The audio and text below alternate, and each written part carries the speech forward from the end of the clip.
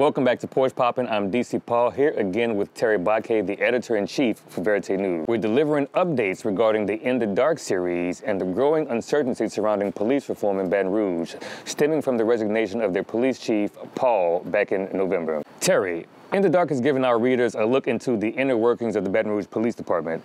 Does Police Chief Murphy Paul think that the reform he set in place will be sustained under the next chief?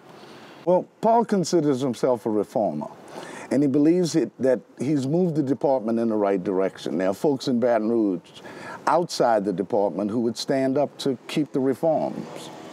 Now, what would you say uh, Paul is most proud of? Well, he believes he's changed the culture of the Internal Affairs Division.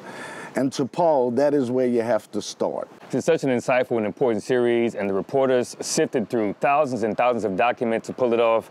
Terry, you have any final thoughts? I do. I'd like to commend Clarissa Sosin and Daryl Khan for a phenomenal reporting job.